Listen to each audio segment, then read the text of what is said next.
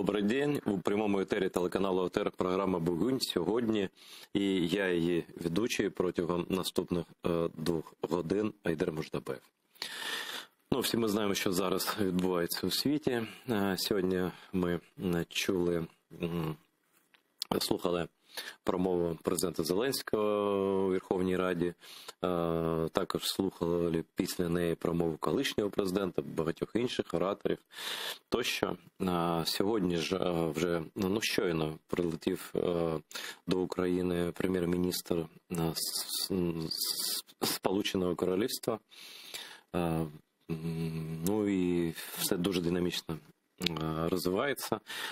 І зараз, е, як і завжди, у цей час е, ми долучаємося, е, точніше, ми долучаємо до нашого етеру людей, які найкраще розуміються на головних подіях дня, тижня, ну, взагалі часу. Е, З нами на зв'язку, як мені підказують редактори, е, лідер міжнародного руху «Говоріть громче, російський політичний мігрант, е, який мешкає в місті Лондоні, Андрій Сидельников. Вітаю тебе, Андрію. Да, приветствую, Айдер. Нормально чутно? Слышно нормально? Да, все хорошо. У меня, во всяком случае, связь хорошая.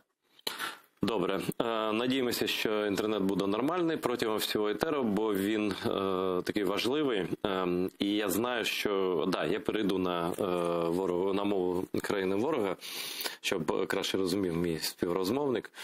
Е, але ж да, но Андрей живет давно уже в Лондоне и как раз занимается тем, что объясняет британскому обществу, британскому правительству, э, значит, э, разным людям в мире, в Америке, везде вот эту опасность э, как бы проникновения российского капитала, влияния э, в западные цивилизованные страны. И Британия тут очень яркий пример. И, собственно говоря, вот недавние новости, я ее перечитывать не буду, расскажу по сути, что британское правительство недвусмысленно заявило, что в случае э, нападения широкомасштабного на Украину, а мне кажется, там даже и связано с этим не было, просто типа достали все, значит, будем разбираться с имуществом, с активами, с, с баблом, как называется вот у русских это дело, значит, многочисленных российских олигархов. А если мне память не изменяет, они в Британии в той или в той или иной степени присутствуют все. Вот я хочу подробно, спокойно, медленно, не спеша, времени у нас, время у нас есть. Расскажи, э, во-первых, рад ли ты этому, во-вторых, сдвинется ли дело с мертвой точки, и если да, то в каком случае? Ну, э, эта новость действительно нас обрадовала. Тех людей, которые борются за мир, которые занимаются оппозиционными какими-то действиями против преступного режима Путина. Ну вот, но радоваться, в общем-то, наверное, пока рано. Как и обещала министр иностранных дел Листрас, внесла в понедельник вчера в парламент поправки к закону о санкциях, которые позволят в дальнейшем оперативно э, определять санкции тем или иным российским, не только российским, оппози- э, коррумпированным чиновникам. А, Собственно говоря, закон, на мой взгляд, должен быть рассмотреть э, уже в ближайшую неделю. На следующей неделе будет принято эти поправки, скорее всего, они- пройдут в парламенте, и тогда уже можно будет говорить о каких-то э, действенных шагах, которые предпримет э, правительство Великобритании. Но то, что они уже огласили, да, вот те наме- намерения, которые они э, огласили, ну, вызывают надежду, что, в общем-то, коррупционных э, людей э, из Российской Федерации как-то прижмут в Великобритании. Ну, будем надеяться, что, в общем-то, слова сегодняшние будут подтверждены делом в дальнейшем.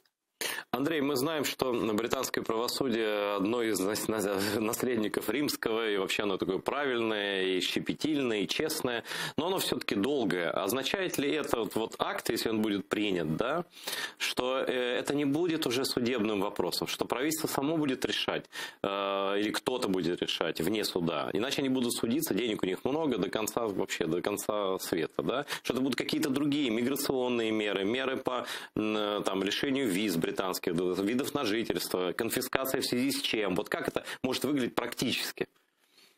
Ну, конфискация имущества точно должна проходить судебные всякие, э, значит, э, этапы. Вот, что касается отмены виз или, допустим, недавания виз, так это и сейчас вне этого закона правительство имеет право это делать, и любое правительство страны имеет отказать, э, ну, имеет право отказать любому въезжающему. По большому счету, это, в общем-то, право государства. Нет, а уже живущему, Андрей, уже живущему там, уже разжиревшему это такому. Это судебные вопросы, в любом случае, это судебные вопросы, потому что все должно решаться, решаться через суд, но правительство будет иметь возможность на основании этого законопроекта а, иметь возможность, а, как я уже сказал, оперативно а, действовать. Поэтому, в общем-то, арест имущества возможен, а, будет наложен правительством на тот или иной значит, объекта, а в дальнейшем это, в общем-то, те люди, наверное, должны будут доказывать э, в суде, опять-таки, то, что они использовали легальные деньги, то, что эти деньги не коррумпированного путинского режима, что они не соучастники. Вот, вот, смотри,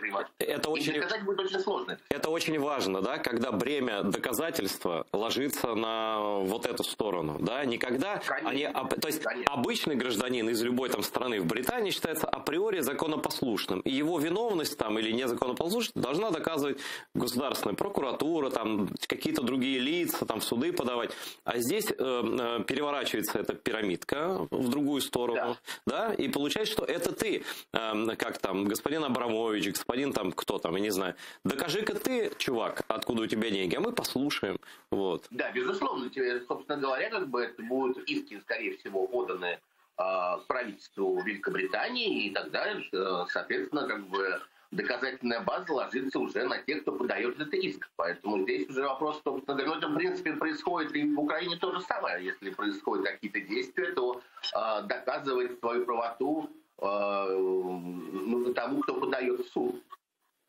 Но это, это санкционные такие вещи интересные механизмы. Просто Британия довольно долго терпела, и там, я не знаю, в Лондоне, ты же говорил, чуть, чуть не 300 тысяч россиян, и в основном это путинские бенефициары, да?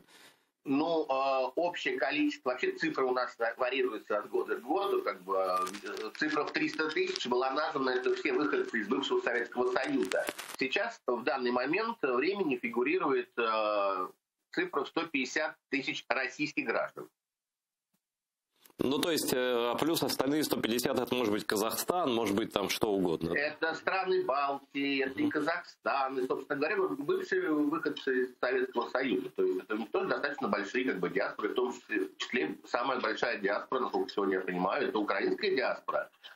Ну, в общем-то, да, во всяком случае, мы ее видим э, в постоянном режиме. На прошлой неделе значит, депутат парламента от Лондона, там, где расположено украинское посольство, где работает украинский институт, а, выступал в парламенте и призывал, в общем-то, помогать э, Украине и поддерживать э, ее независимость. Так что, собственно говоря, работа с депутатами происходит как у украинской диаспоры, так и с нашей стороны. Периодически проводим разные встречи, э, идет глава и переписка с разными депутатами, встречи там, с членами правительства для того, чтобы объяснить ситуацию а, вокруг, вот, собственно говоря, сложившейся на сегодняшний день а, между Россией и Украиной и по поводу того, что в России существует и действует преступный путинский режим. То есть эти последние сколько-то лет мы вплотную занимаемся санкционными вещами, и мы очень, конечно, приветствуем те инициативы правительства Великобритании, которые были озвучены вот в ближайшие ну, дни, которые были да, недавно совсем. Ну, наверное, знаешь, я себя тоже иногда так вот ощущаю. Немножко обидно осознавать, что ты эти очевидные вещи говорил там, не знаю, 8 лет подряд, 10 лет подряд, 5 лет подряд. И только сам Путин окончательно убедил Э, британские власти в том, что что-то тут не так, в том, что все-таки деньги пахнут, и все-таки это все не, не безопасно и так далее. Вот насколько сильно Путин разозлил британцев. Да, кстати, сейчас вот буквально э, мы с тобой разговариваем, сейчас Борис Джонсон там приземлился и э, да. уже, уже у нас, наверное, ты об этом да точно знаешь. Э, вот скажи мне, э, какова, у нас честно, вот сейчас Британия это страна номер один, э, ну, понятно, Польша, она всегда, в общем, общем, рядом была, поэтому это не так в, в нове, что ли, да. А Британия это страна номер один и точно номер один из э, старой Европы, э, которая обращены наши взгляды и наша благодарность. То есть в Украине сейчас основной лозунг это «Слава Украине и Боже, храни королеву». Это вот э, без шуток так, да. Вот как ты видишь оттуда, э, насколько ясная, четкая э, позиция Британии, что пишут, что говорят, что говорят о поддержке Украины, оружием, политическим союзом, вот этим Украина, э, Польша, Англия, как его УПА прозвали уже тут некоторые остроумные люди. Вот, расскажи политическую сторону вопроса, связанную с поддержкой Украины Британии. Ну, а, а, насколько я могу судить, действительно, по выступлениям а, политиков, как оппозиционных, так и от действующей партии консерваторов, у них, в общем-то, единое мнение, что, собственно говоря, и поддержка Украины, ее независимости, ее целостности, и э, всеми возможными способами пытаются значит, вот не дать, грубо говоря, режиму Путина в очередной раз напасть э, на Украину и э, вообще, собственно говоря, здесь действительно такое единое целое, что э, необходимо войну предотвратить, хотя мы знаем с тобой прекрасно, что война уже идет с 2014 года, да, после аннексии Крыма, после того, что устроила путинский режим на Донбассе и в Луганске, Луганской области. Поэтому как бы здесь, на самом деле, действительно украинский вопрос, он э, мутируется в СМИ, на телевидении, обсуждается в парламенте. И, в общем-то, надо сказать, общественное мнение поддерживает это. Единственное, что могу сказать, что э, пока, э, ну, в связи с тем, что, в общем-то, никто из англичан простых не хочет э, во-первых, не участвовать вообще ни, ни в какой войне, да, и, соответственно, в общем-то, насколько я понимаю, общественное мнение пока против того, чтобы послать какие-то войска, но они так и не делают, да, правительство Великобритании не посылает войска, там, там работают, работают на сегодняшний день инструкторы, которые обучают украинскую армию, а, Значит, а, Борис Джонсон уже на днях заявил о том, что будет увеличен британский контингент в, на базах в странах НАТО. Соответственно, это в основном базируется сейчас в Эстонии. А, там, хотя и немного, 900 человек сейчас, значит, будет увеличен в ближайший там, месяц э, вдвое контингент. Ну, во всяком случае, действительно происходит поставка вооружений в Украину. Я, насколько понимаю, выделила Великобритания и Украине средства для преодоления энергетического кризиса, по-моему, 77 миллионов фунтов на сегодняшний вот день. Вот буквально на днях тоже, собственно говоря, было решение. Ну, вот, то есть всеми силами правительство Великобритании пытается поддержать украинский народ.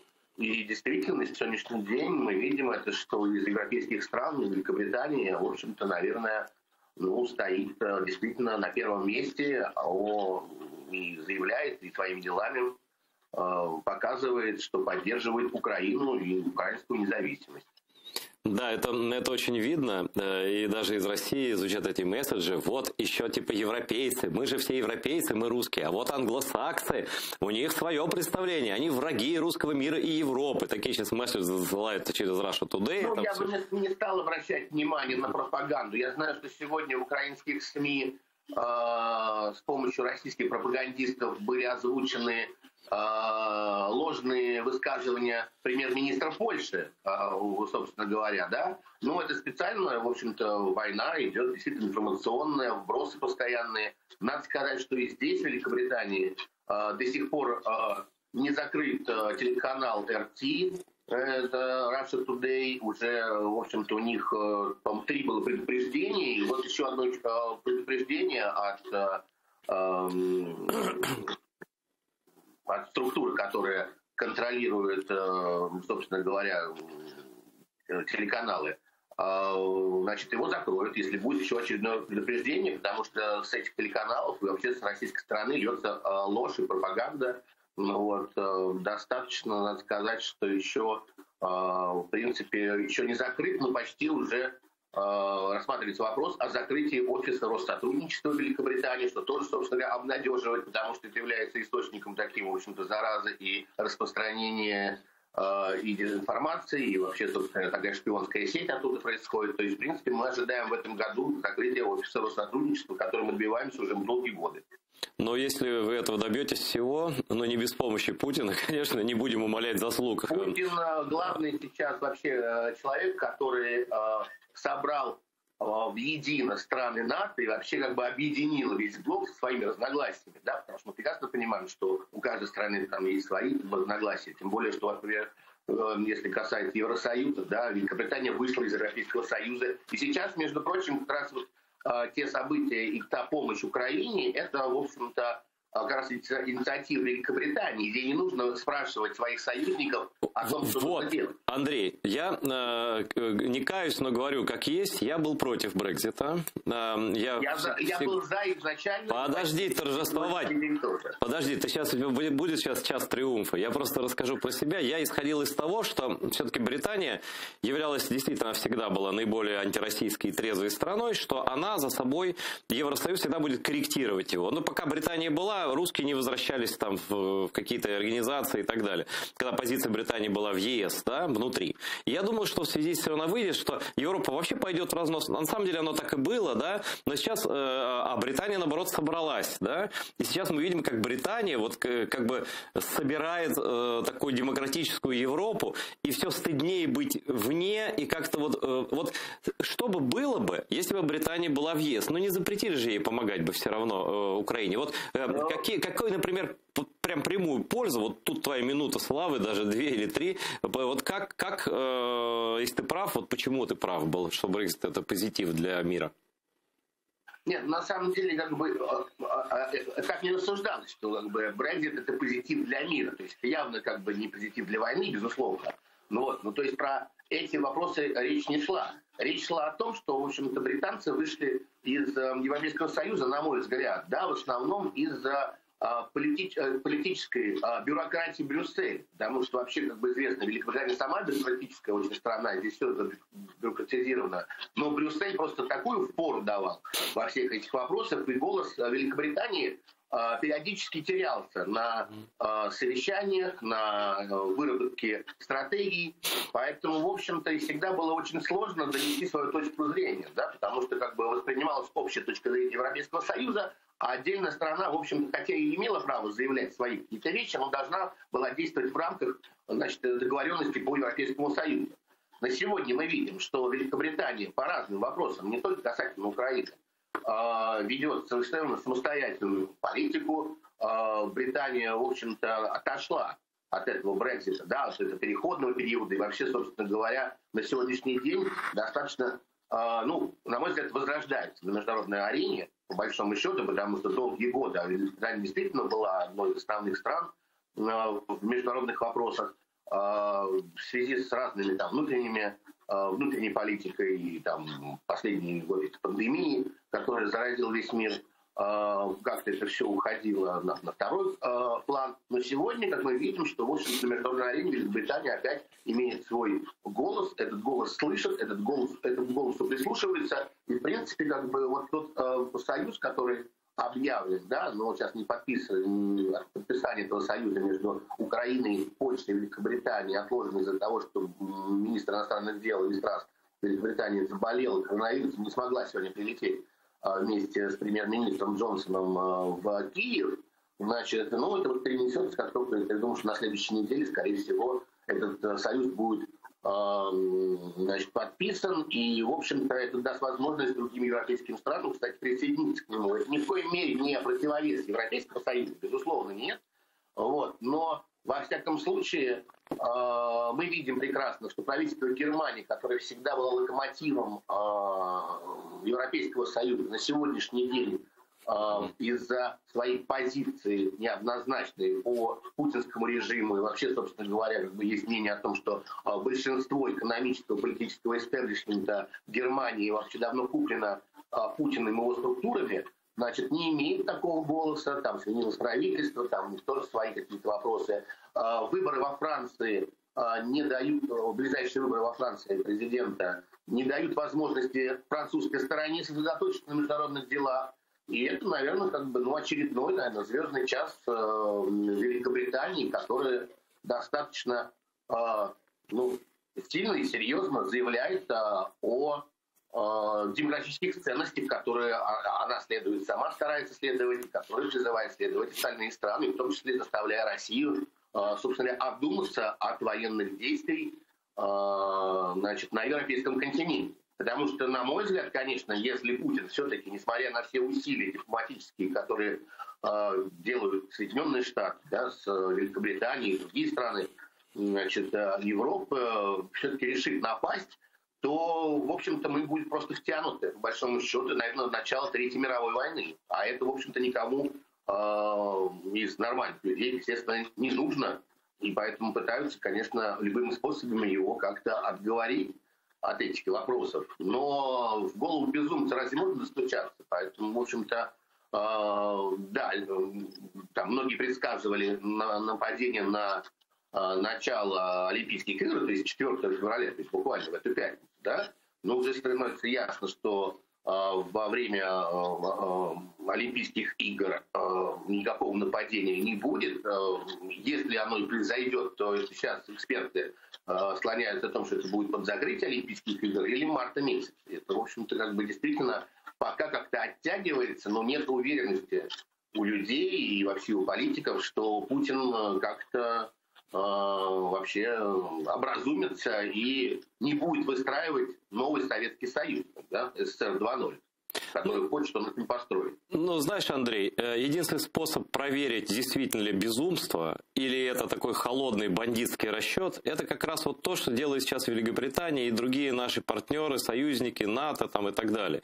Они проверяют, насколько, потому что ему, понятно, что вот ты говоришь да, про то, что британцы не готовы воевать сами сейчас, об этом даже не говорится нигде, и мы это слышали, там в Британии, в принципе, достаточно традиции честной публичной политики, они существуют, но это сейчас Британия, как и все страны, действует в логике сдерживания, в логике мирного, предвоенного, возможно, но мирного времени.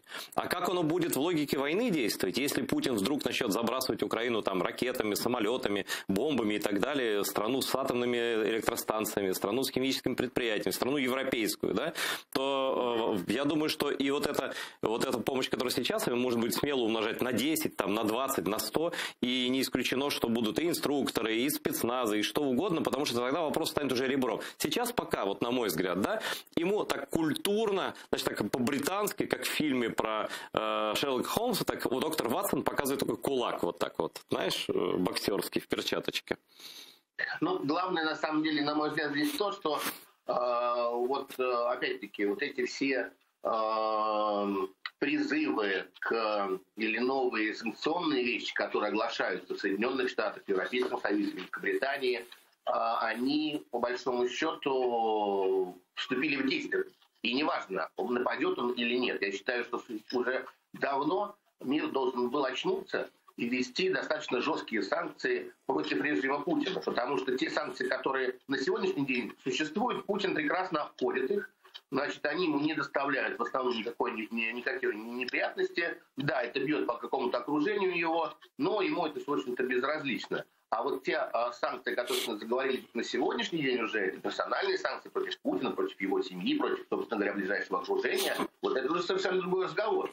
И э, просто очень хочется надеяться, что э, слова с делом не разойдутся, потому что мы видим, что, в общем-то, реакция все время как бы такая, вот они как-то журят, да, как-то они не дают э, то есть э, много обещают, а каких-то дел как бы, конкретно как бы, не происходит. Поэтому мне очень хочется, чтобы последние инициативы, которые в санкционном плане были выдвинуты э, США и Великобританией, Европейским Союзом, они как-то нашли отклик э, в реальных делах, и действительно тогда была бы возможность каким-то образом, э, в общем-то, влиять на э, поведение, значит, вот этих вот отмороженных э, путинских Э, людей, которые заполонили уже весь мир э, и вот этими своими коррупционными грязными деньгами скупают все вокруг.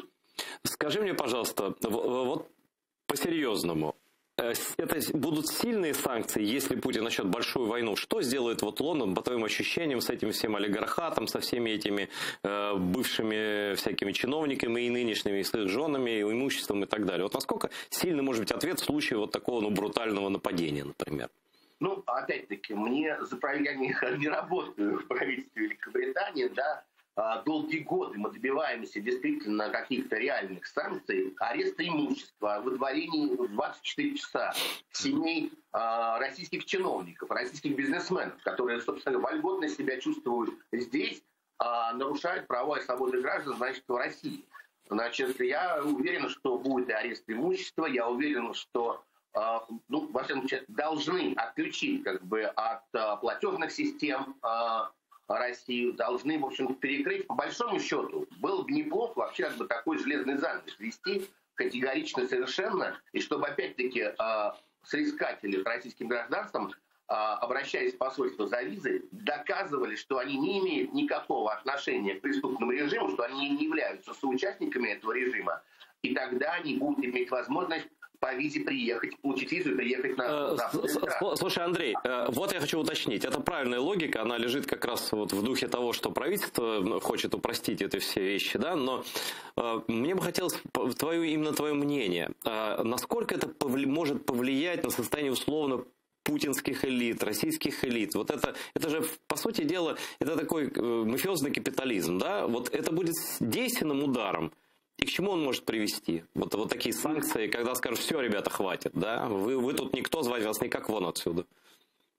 Ну, на мой взгляд, это как раз действенные санкции, когда они точные, когда они, собственно, бьют по кошелькам, да, этих людей. То есть здесь уже, конечно, уже я могу сейчас сказать, когда вот воскресенье озвучила министр иностранных дел Великобритании Ли Страс вот это намерение значит, внести поправки, и будет достаточно жесткий ответ, там, там не было, конечно, фамилий, ну, как бы дали понять. Я могу сказать, что уже вот несколько дней прошло, и в Лондоне уже пошел шорох такой из русских, потому что уже как-то, ну, как это сказать, в эфире не, а, цензурно, скажем так, а, ну, испугались. Испугались, действительно испугались, и они сейчас как бы по щелям конечно, а, в общем-то, засядут. Но э, мы, э, не дожидаясь, в очередной раз послали, значит, составили список, сейчас расширенный список из 99 фамилий, проживающих в Великобритании, лиц, которые, на наш взгляд, являются соучастниками преступного режима Путина, мы послали правительство Великобритании, но это было сделано в понедельник, значит, и, собственно говоря, вчера, да, значит, и я надеюсь, что, во всяком случае, фигуранты этого списка, при а, вот, введении в действие вот этого а, закона с поправками о санкциях, они там будут фигурировать и, собственно, в станции правительства Великобритании. Потому что там, конечно, в этом списке находятся известные фамилии российских олигархов, это, естественно, и Абрамович, и Фридман, как бы, и других людей, как бы, но также находятся люди, которые неизвестные в широкой, в широкой публике, значит, это люди, которые сотрудничают, опять-таки, с посольством, это бизнесмены, которые здесь живут, э, э, значит, э, и занимаются, на наш взгляд, как бы поддержкой преступного режима Путина, отмывают деньги в Великобритании. То есть это, в общем-то, те люди, которых СМИ, как бы, в общем-то, обходят стороной. Это ряд богатых совершенно людей, которые ведут такой светский образ жизни, с одной стороны, с другой стороны, они поддерживают значит, э, путинский преступный режим. Поэтому эти фамилии мы передали. Посмотрим, какая будет реакция, какие будут ответы. Но вообще, в принципе, надеемся, что на сегодняшний, ну, там, в ближайшее время, в ближайшие месяцы санкционный такой удар э, будет нанесен по вот этим преступникам, которые вольготно себя чувствуют на Западе и, в общем-то, грабят э, Россию э, и нарушают права и свободы граждан Андрей, да. Э, и последний, наверное, вопрос, который я к тебе обращу. Э, ты больше меня следишь за э, вот этими волнами в кругах русской либеральной интеллигенции.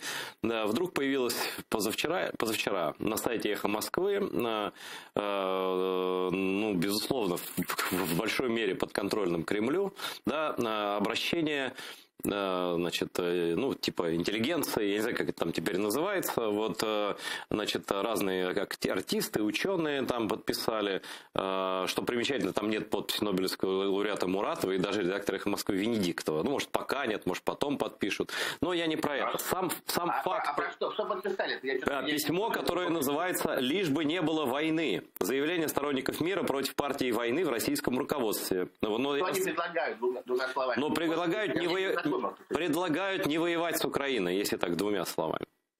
Так, хорошо, окей. Что это значит? А, ну, люди проявляют свою э, позицию.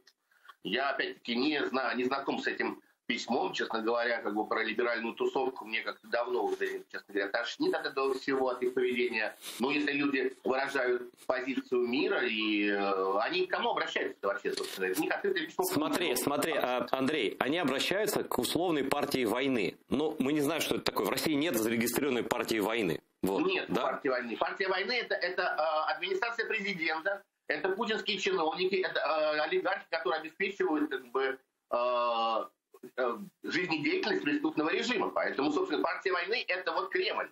В большом счете на сегодняшний день партия войны мира.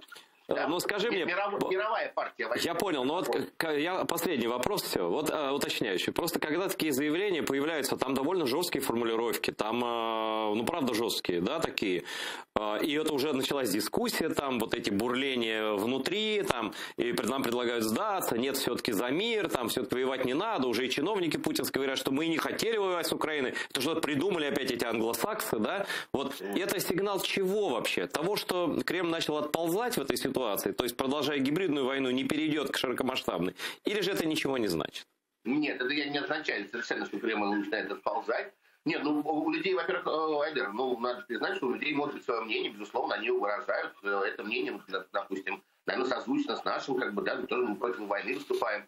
Вот. Только дело в том, что они выступают против вот, войны, которая э, они предполагают, вот, вот, вот начнется, которая говорится, да, как бы, а мы с тобой говорим о том, что война уже давно идет, да? Эти люди не замечают того, что война уже идет. Они признают э, аннексированный Крым, между прочим.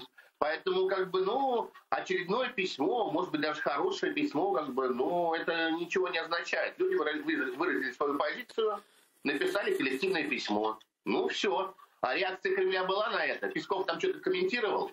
Нет, наверное. А, ну, ну, ты же знаешь, как у нас... Э, Хорошо, но как у нас коллективные письма э, публиковались в той России, из которой мы уехали, да? Надо было за войну, за войну опубликуем. Надо было за мир, за мир. А можно, вот ты будешь за мир, а ты за войну. Ну, а, конечно, а там зачем? Распределение ролей, безусловно, конечно. Ну, в общем, в любом случае, это неплохо. Э, там же, если люди искренне подписываются, кто каким мотивом. Я не знаю, это в любом случае са, сама... Зрения, как бы, надо да, сама дискуссия о том, что война недопустима, э, она уже правильная. А дальше, как говорится, посмотрим на этот эмбрион.